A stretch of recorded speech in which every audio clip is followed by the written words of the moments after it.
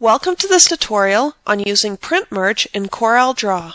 The Print Merge tool is a fantastic way to mass produce a set of items and save time and money in the process.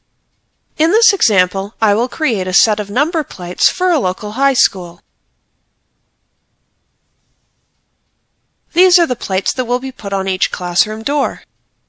First, load the Print Merge toolbar by clicking on Window, Toolbars, and then checking Print Merge. Click on Create slash Load. Click on Create New Text, and then click Next.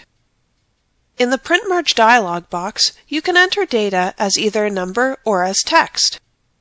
In the text field, I'll type Subject, and then click on the Add button. Next, I'll type in Room in the Numeric field and click Add.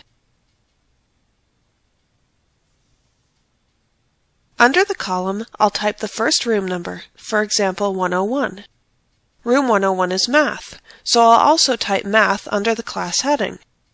Once I have this entered, I'll click on the New button and be prompted for the next record. I'll just add six number plates for this example. After clicking Next, it will give you the opportunity to save the data that you've entered. Choose a directory, give the file a name, and then click Save.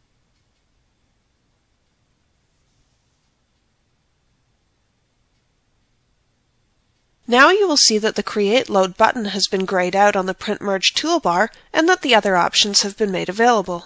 To build the document, we will add the first merge field, the room number. To do this, make sure that the drop-down to the left of the Insert button on the Print Merge toolbar is set to Room, and then click the Insert button. This will place the variable on the document. For the room number in this example, I'll make it 100 point Arial Next, select Subject from the drop-down and click Insert once more, and the subject will be 48-point Arial.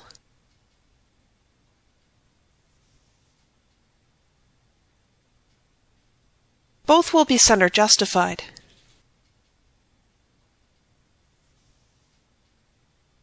Now to output the file, click on the Print button. Next, change the layout to fit to page so as to make sure all the plates will print the same size, and none of the edges will be cut off. Click on the Print Preview button in the bottom left corner. By clicking on the Imposition Layout tool, it will enable me to dictate how many images horizontally and vertically I want to lay out. In this example, there will be two columns and three rows. Now when you click on the arrow tool, it will display a preview and then it's simply a matter of sending it out to print. Thank you for watching this video on how to use the Print Merge tools in CorelDRAW.